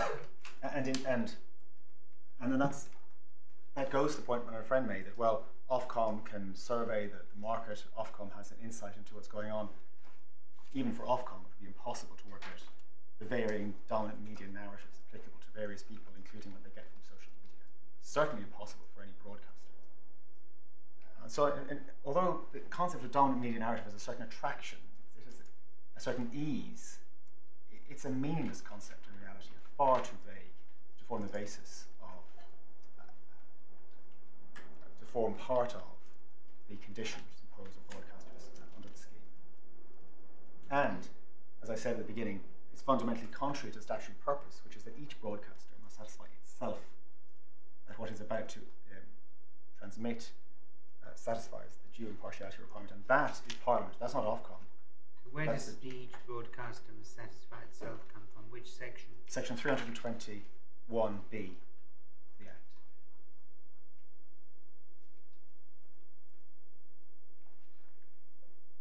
But, but most importantly of all, perhaps, coming back to the statutory purpose, even if um, it were possible to anticipate the dominant media narrative, it still doesn't address the fundamental problem, which is that what Mr. Brzezinski, my other friend's submission ultimately goes to, is one can have a series of broadcasters all broadcasting extremely biased material, um, but in the overall sense, balancing one another out because of the various changing dominant media narratives will shift from hour to hour and day to day.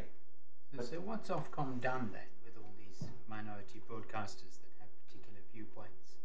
Has it, Ofcom, has it brought due impartiality claims against them all? Ofcom approaches them, uh, applying the due impartiality standard in the flexible way which you've seen in this case. And no doubt, my lords, have seen the decisions where we found that uh, RT was not in breach, as well as the ones we found in breach. And to answer my my lord's questions earlier, um, in 2018, we found 10 breaches of the due impartiality uh, standard, in 2019, 5, and in 2022. So it does happen. It doesn't happen very often. And partly because there is a Of the 2018, were, were, were, were seven of them ours. 2018 7 were RT breaches in 2018. Yes, exactly. So, so the point, my lord, is there haven't been many. RT obviously had a bad year in 2018 for reasons which are obvious. Bless you, my lord. When you come to read the. So were the five in sorry, were the Yes. five in 2019 just one broadcast? no, no, there was uh, two, three broad, three broadcasters, one radio and two news, unless I'm told. but my lords, the reason why the number is relatively small, notwithstanding the large number of broadcasters in the country, is because Ofcom approaches the due impartiality standard with flexibility. It does not expect RT to broadcast as if it were the BBC. It takes into account the differing expectations of its audience, as you saw in the decision. But there is still basic minimum level of due impartiality which is required. And that's what was applied in this case. And any and I, and, and, I do urge, in other words, other than the Master of the Rolls, to, to view the. The transcripts don't do them justice. One sees when they're viewed um, why Ofcom felt it had to act. Well, well, I mean, that that is, if I may say so, not really a submission. I mean, you you see um, a uh, a display of an uh, using the word I think correctly, an extreme point of view that would most viewers, UK, most UK citizens would be surprised about. But um, I don't think you see uh, why Ofcom has to act if you accept the proposition that people are entitled to have free freedom to express even extreme, even shocking views. I mean, that is the, you know, that's the this is, tabula. Rasa, this, has nothing to do with extreme views. Exactly. That's why watching the programs, although it's, it, it is entertaining and interesting, is not the answer to this case. No, not at all. But the reason, and I don't ask you to view it to see that it's extreme. I ask my lords to reflect on the extent to which the other view is being given any weight at all. It's not about Well, I think the problem with the broadcast, that as my recollection of them, is virtually universally, even where they do state or have other, you know, Ambassador Murphy or, or the um, whatever Miss Ambassador Haley. Hey, Haley, uh, even when they have those on, the, the approach to them is sarcastic, um, slightly. Mostly. Uh, well, it's more than, respect, my lords, it's more than sarcastic. well, at least so. At least sarcastic, yes. Yeah. Dismissive, I think, was the word they used in the, In the decision, In, in, in, in respect to some some of the. and, and one sees that even more clearly in, in, in the in the broadcast. But, the reason why I said that um, relying on the dominant media narrative conflicts with the fundamental principle of the policy, the purpose, is that it assumes that viewers will get their uh, news from diverse sources. That the Daily Mail reader will read the Guardian. I appreciate that's not broadcast media. You have my point. No, no, I mean, I, I And- think and- that's a ridiculous assumption. I mean, But that's the Daily Mail fundamental. reader certainly probably wouldn't in most cases. And people do, as we see from the internet, like the position where they are fed news reinforcing their prejudice, My whatever that prejudice. exactly. My friend's whole case on Article 10 depends on the court assuming that these people will get alternative viewpoints that will be very different from the one they're getting from RT. I mean, I made the point, and of course, judges always like the points they make themselves. But um, so we'll we'll treat it with a certain caveat. but it does seem to me that kind of people who watch RT are likely to have a Russian news feed that supports from in their Facebook and so on that supports their own point of view, and you know they're not likely to be the kind of people who read the Guardian, the Financial Times, the Times, the Telegraph, you know, and all the newspapers in England and takes everybody's point of view. But they may be people who occasionally hear the BBC, whether voluntarily otherwise. the, the risk, the risk to our democracy, if, if uh, people end up in silos where they don't hear other people's point of view at all, and get all their news, increasingly hysterical news, from one biased source. So you're concerned not so much about the dominant media narrative, but the dominant personal narrative. Each individual viewer and listener and reader increasingly only chooses to access news which they're sympathetic to. And, and, be, and becomes increasingly isolated from the alternative view to the point where, as we have seen in the United States, they cease to even understand how the other side could have that point of view at all. And that is corrosive to democracy. I don't use these words lightly. This is the, the basis for, the, for Parliament's clear steer in the 2003 and that, and because of the importance of that harm, the risk of that harm, um, the due impartiality requirement um, is the expression of how in this country that harm is sought to be avoided. So, I mean, you rely on animal defenders because you say that was quite extreme case, animal defenders, a complete ban on political advertising. Um, and yet, that got through not only our courts, but also the European Court of Human Rights. A- Animal defenders, my lord, Only just. Just. I'll t- a win is a win. my lord. the, the, it was a 20 second advertisement, quite a mild advertisement to animal rights welfare, a cause with which many of us would have a lot of sympathy. But nevertheless, uh, the ban was upheld, even in that case, uh, notwithstanding the fact that the applicants urged a more moderated, um, staggered approach to the ban on political advertising. And, and it's a fortiori here, where nothing like an absolute ban is imposed. We're asking RT and other broadcasters to make really small adjustments to the way they present views. My, my friend said he didn't accept, the first instance, that um, his programs were partial. He said in submission, well, obviously some views are given more uh, weight than others. Well, that's an admission of partiality. The question is, was it duly, was it unduly partial? And that I fully accept you didn't accept. But we, al- we allow partiality. It's a question of whether it's undue. And that's what the regulator intervenes. Um, so, but anyway, you have my point. I've made it several times. That the real problem with this dominant media narrative is that there's no. If, if that's the, the approach, there's a real risk people will only get the views that they want to get, and that's the very thing which Parliament sought to avoid. Now, uh, I, will, I will take. If I, I've taken these rather out of order because I wanted to go straight to the question which the court was plainly um, interested in. Um, I presume I don't need to show you the legislation because uh, you, you've obviously read that very closely.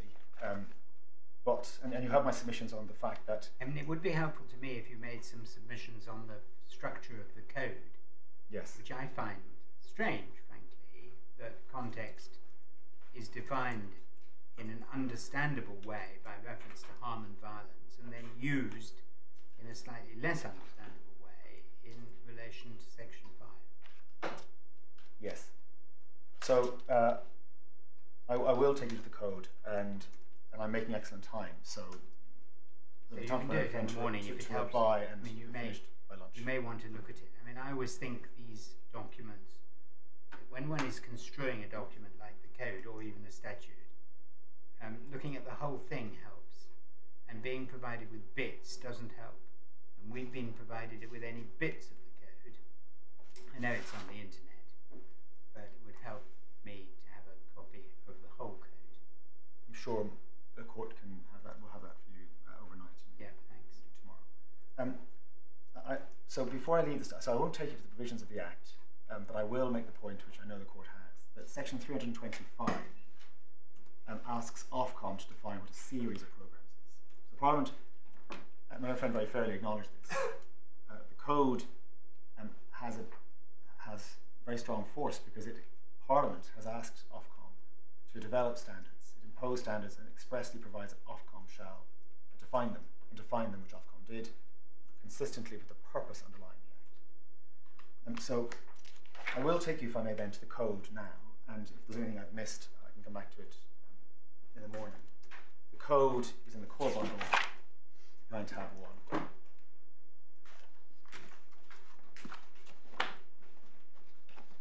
Is it not in the authority? Authority. For- Forgive me, the authorities bundle.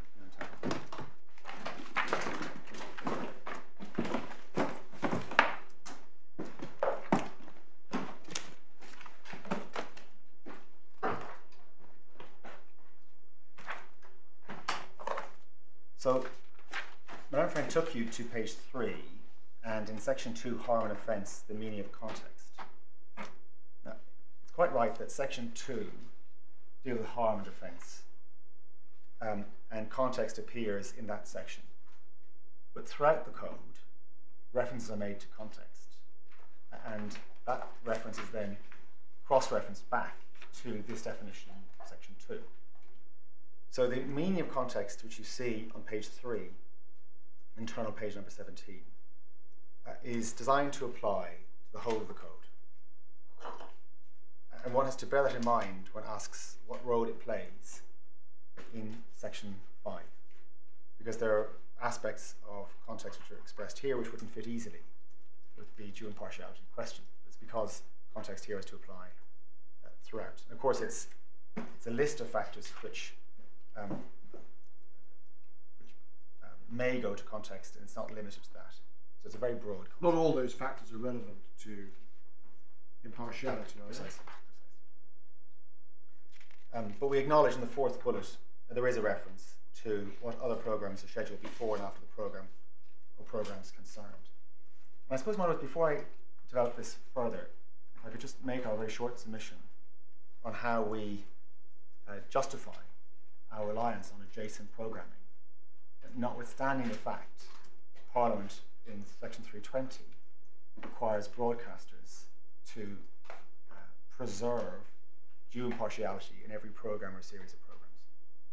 Uh, we accept uh, that context is important, but it's also true that a contextual factor cannot be used to undermine the statutory purpose or the statutory standard. You've seen what the purpose of the due impartiality standard is from the extract from the white paper quoted in the decision. And the standard, standard is that set out in section 320, namely a requirement that due impartiality be shown by the broadcaster in every program or series of programs. So we can use contextual factors to ask if due impartiality is respected, but we can't do it in a way that undermines the, either the purpose uh, or the standard. And in this case, Ofcom did take into account adjacent programming where it could, even though that was not linked. It wasn't a series, but we felt Why did you take into account adjacent and not programs before and after? because we took the view that directly adjacent programming uh, was relevant context, and we could rely upon it, although not to a very great extent, without undermining the statutory purpose or the statutory. So the immediate, it, it, it's literally immediately before program or after the program. Indeed. So whatever, even if the weather forecast or tweet of the day or something. Well, okay? tweet, well, it's- not good enough. no, it- that may seem facetious, but where do you where do you draw the line? No, it, would- it would be if we're asking, have they shown due impartiality? We found that a relevant contextual factor could be that an alternative viewpoint was presented immediately before or immediately after the program in question. We couldn't give that very much weight because the, the parliamentary, the, the statutory standard and purpose is that the broadcaster has to, has to satisfy in the program or a series of programs which are defined as clearly linked, an editorial, clearly linked programming. That's the standard we have to apply. But would the, would, would the goes without saying point um, apply there? So let's suppose, um, well, as you have on the BBC radio, you have the news broadcast, and then immediately the current affairs programme follows straight afterwards. Got the headlines, Yeah. and the current affairs commentary goes straight into an interview about the main story of the day. Um, and that's all they say. The main story of the day is the Skripal poisoning. Yes. And you've already been told what the dominant media narrative is about. You, you could have, couldn't you, in that context, no further reference to, at the extreme, you could have no further reference to what the, what the actual story was than this is the main story of the day. In, in that particular context, in those particular so due facts- impartiality, that might be a context be in enough. which the actual programme Yeah. contained no statement of what, of what the proposition was, but was so closely connected. but also because everyone has that, everyone knows exactly how that works. Yeah. So everyone understands exactly what Presu- the link is. presumably, national broad, BBC, uh, other broadcasters have quite sophisticated guidelines with, internally and processes internally to make sure that these they don't trip up on. They absolutely do. functionality. Yes. Um, so, but, but so here, although the statutory standard, the clear standard is that the broadcaster has to ensure due impartiality in the program or series of programs as defined, we felt we could give some weight to immediately adjacent programming, although, as we said in our decision, not much weight, much less weight than the other contextual factors, because to give it much greater weight would risk undermining the statutory standard and the statutory purpose. What we couldn't do was take into account unlinked and unadjacent programming, because to do that would be to undermine the statutory standard and the statutory purpose. Can I can I ask you about the statute itself? That slightly troubles me. Um, everybody assumes that the statute is talking about the program, whereas the unit of review. But if you look at section three one nine one, it says it's Ofcom's duty to set and from time to time review and revise such standards for the content of programs to be included in television services. And then in 320, which is obviously more relevant, the requirements include the preservation in the case of every television program service. Television and radio service. I know, I'm just cutting Sorry. it out for Sorry. the purposes of what we're talking about. Case of every television program service of due impartiality, etc. And the so so although later, of course, you have the requirements about series of programs um, and the special requirements. And I, I don't see specifically how one says that a program, um, television program service equals a television program and only a program. And it, it does not. No. Um, uh, it's never been our case that the words television program service means an individual program. No. The parties, and I think it's been common ground, Mr. Brzezinski acknowledged this earlier, uh, accept that um, because section 324 specifies that the due impartiality requirement may be satisfied uh, in relation to a series of programs taken as a whole, a series to be defined. The due impartiality requirement under this provision uh, cannot be satisfied by a broader category of programs. So therefore, well, Mr. Brzezinski will address you in reply, but the, uh, the point is that under the Act, uh, the due impartiality standard is to be, because it says it may be satisfied by a series of programs, we infer that it cannot be satisfied by the whole television service, but plainly, if it can be satisfied by a series of programs, it may also be satisfied in each individual program. Well, Is there another point on construction, which is subsection 1 of section 319, which imposes the duty on Ofcom to set standards for the content of programs? Yes. Yes, indeed. That's plainly relevant to the point that we're discussing. But and and we contrast how due impartiality is imposed on TV program services with the uh, standard for local radio services, uh, because local radio services may comply with the due impartiality standards by reference to their whole service This is 321C. Uh, 321C and the, and the reference to allowing them to show due impartiality across the service as a whole, not a program or individual series, is section 300, 320 sub 4 sub B.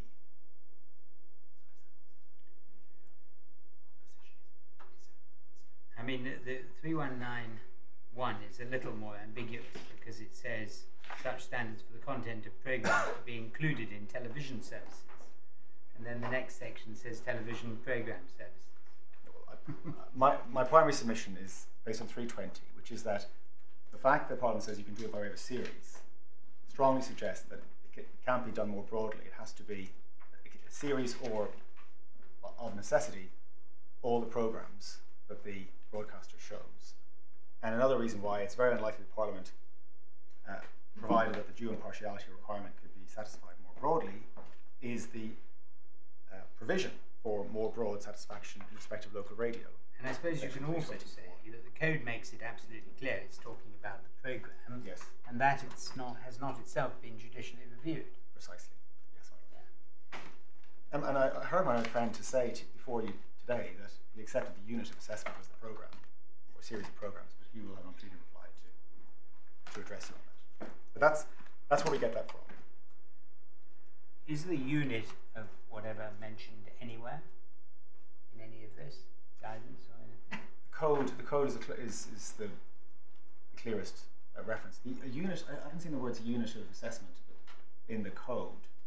But Mr. Brzezinski used that expression with, with you and Word today. I'll be told if it appears in any of our official guidance. No, I don't think it does. Sorry, you're told what? I will be told if that expression, unit of assessment, Well, appears I'm somewhere. just doing a search. It's not in our, it's not in our code or. We get unit in United Kingdom, opportunity in community. no, I, I it's, it's not a term of art in the Act. It's a forensic flourish or uh, a, a label. Indeed. So back to, back to the code, uh, my lords, if you have uh, the authorities bundle before you. And turn please then to page page seven of the bundle, internal page twenty-eight. This is section five. You have the meaning of due impartiality. You have my submissions on the flexibility inherent in the due impartiality standard and the acknowledgement that context is important. But again, you have my point that contextual factor can't uh, undermine the statutory purpose or standard. Um, and then 5.5. This is the point, my lord, that you put to me a moment ago on paragraph, sorry, page 30, internal number. Due impartiality in matters of political or industrial controversy and matters relating to current public policy must be preserved on the part of any person providing a service. This may be achieved within a programme or over a series of programmes. Does the rest of the code refer back, any other, other provisions in section 5 or any other part of refer back to context, the, the definition of context in section 2? Or is that just due, due impartiality? Maybe you, can't, want to come back to that tomorrow. I'll have to come back to that tomorrow. It's I, I, I haven't looked at the whole of the code to see, where, or even the rest of section 5 to see if context is. I can't see it in the rest of the section, so for example, on the, the different radio provisions about undue prominence, doesn't refer to context.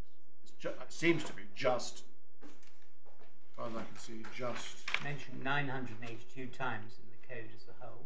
Yes. This is the advantage of having. That's kind of resources that I don't have before me. But one, one can see why.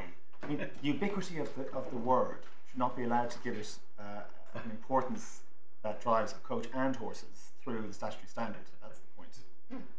Um, but back to the, the code in old fashioned hard copy. Uh, it's 5.6 before me that explains Wild horses wouldn't drag me to the old-fashioned office. more faith Even um, with a Lord, in coach. technology than I have. Um, 5.6 deals with uh, how a series can satisfy the requirement. But if you're going to rely on a series, it should only be made clear to the audience on air. But again, one can see the flexibility in the language used there.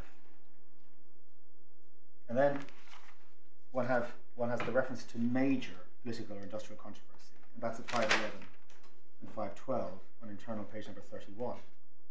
And that's important because we're not just dealing here with uh, matters of controversy. Again, I think it's common ground that these decisions related to matters of major political or industrial controversy and uh, ma- major matters relating to current public policy. And for those, there's a heightened duty of due impartiality. In addition to rules above, the due impartiality must be preserved on matters of major political and industrial controversy and so forth um, by the person providing the service in each program or in clearly linked and timely programs. And then in 512, in dealing with matters of major political and industrial controversy and so forth, an appropriately wide range of significant views must be included and given due weight in each program or in clearly linked and timely programs. I'm posing them out again, and this goes to the dominant media narrative discussion I had with my friend. What's required is an appropriately wide range of significant views. It may be that one view um, is getting more airtime than other views. RT may have the particular Russian slant they want to give. But in Mr. Grodzinski approach, where one can decide what one broadcasts by reference to everyone else, uh, poorer voices or quieter voices may be drowned out completely. This, this standard exists to ensure not just that the powerful uh, interests and powerful states have a say, it also ensures that less powerful interests and quieter voices are represented, even if they don't have a well funded channel behind them or they've caught the public mood or popular in the general public. So is this a special definition of series for the purposes of matters of major concern? Because uh, we've taken us to 5.5 and th- there's a definition of meaning of series of programs, which is Yes. statutory wording. Yes. It's then for Ofcom to define what that means or to set to include in standards what it means. We've got a general definition, then we've got something narrower Yes, th- th- this is a particular category. yes. Th- this this uh, it's the same definition, but it's it's um, given a gloss in respect of major. The linkage has got to be clear, be clear, and, and, there's, and there's, there's a time requirement. Indeed. Told if that's wrong, I think that's exactly what it is. Um, and, and that's important, my lord, because, because these are matters of major political controversy, we'll come to this when we see the, the guidance. The discussion that the court had friend about paragraph 1, 1.33 of the guidance is entirely irrelevant, because it's in the guidance, as we'll see, it's paragraph 1.57 that applies to matters of major political controversy. For those matters, an appropriately uh, wide uh, range of significant views must be included. Um, so, with that, you know, we'll turn to the guidance. And one sees um, page 15 of the bundle, paragraph uh, 1.7, immediately below guidance, uh, guidance as to Rule 5.1, how news is to be reported with due uh, accuracy and presented with due Sorry, I'm not with you. Where is the oh guidance notes starting at page thirteen? Yes, my lord, and I'm on page 50. And I, I, I shan't take you through all of this because I, you've been through it, Mr. Grodzinski, and also you have read it already yourselves. I simply go to, if I may, to 1.13 because having given guidance as to how due impartiality is to be achieved, and the guidance is constructive and flexible. One sees at paragraph 1.13, Ofcom saying it's consistently found that audiences say that impartiality and accuracy in broadcast news is important to them. For example, Ofcom's 2015 media tracker survey found that 88% of all respondents considered it important that television news is impartial, with the corresponding figure for radio news being 80%. So, uh, this is to my Lord's point that, well, who cares about impartiality anymore? Know, one can get new, news from various niche broadcasters, and it's not such a big deal as it might have been a long time ago. Not so. I don't think I ever said who cares about it. I simply said that on the internet you can get it that it's not impartial. My Lord, forgive me. Um, I'm, I'm, I was going to say I'm responding to the submission that Mr. Grodzinski made. I'm not sure he even made that point. Um, but rhetorically, then, I, I say, to the extent that it's suggested that uh, it's not important, Ofcom's own research shows is still valued and given significant value by respondents to its survey. And um, one has updated material in the bundle, in the supplementary bundle. And we can turn to that now. It's in supplementary bundle tab 4, keeping open the, the guidance. In the supplementary bundle behind tab 4,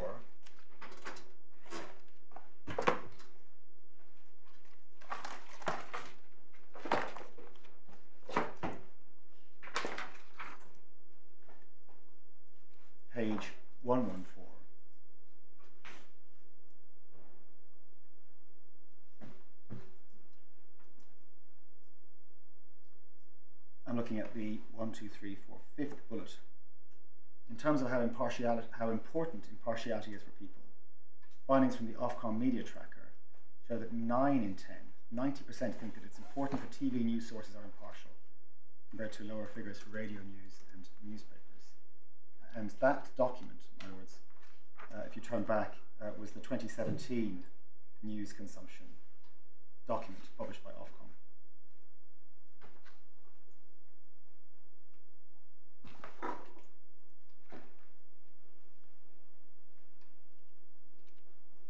And that's relevant because when we come to look at the authorities, when we come to look at um, animal defenders in the House of Lords and also in the European Court of Human Rights, the quality of the state's assessment of pressing social need is relevant.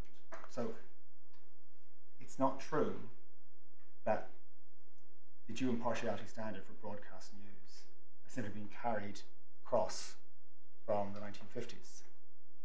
Not only uh, was it discussed before the uh, 2003 Act, um, it was discussed again in 2007, and Mr. Grodzinski showed you an Ofcom discussion paper. And Ofcom regularly surveys as to the importance that people place, viewers place on impartiality in broadcast news.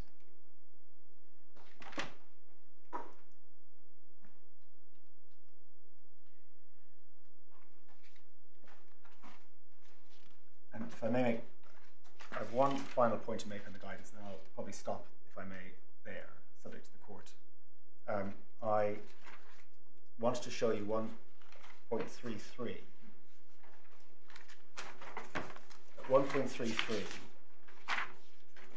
is uh, the paragraph that the Master Rolls found rather odd because it suggested that in certain circumstances it might not be necessary to uh, give a, a, wide range of significant voices. But one sees that that, that part of the guidance uh, applies to all matters of political or industrial controversy. Uh, we are concerned, of course, in these decisions with major matters. And for that, one has to go to page 26. But one sees in red at the top of 26, Rule 511 and Rule 512 from the code. You've, seen that that's the part that deals with uh, major matters of controversy. And for these matters, the test is at 157. Rule 512 makes it clear that if matters of major political or industrial controversy and major matters related to current public policy are being dealt with, then, firstly, an appropriately wide range of significant, views must be included in the programme or in clearly linked and timely programmes. And second, such views must be given due weight. And significant views could include 158, the viewpoint of nation states whose policies are considered to be matters of major political. Sorry, I've lost you. I'm Where so you sorry. reading from now? From the paragraph immediately below 1.58. 1.58. Yes. Oh, I see. I missed that. Sorry. So this is the guidance to the um, major matters of major political and industrial controversy provisions in the code. Yes. Five point twelve.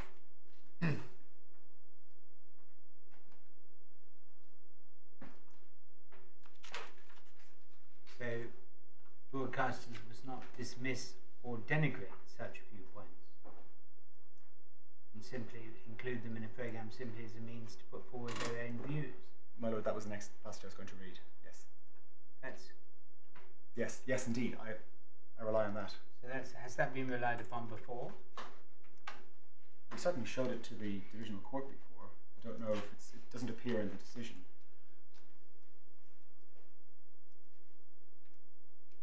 Sorry, it doesn't appear in the um, the judgment.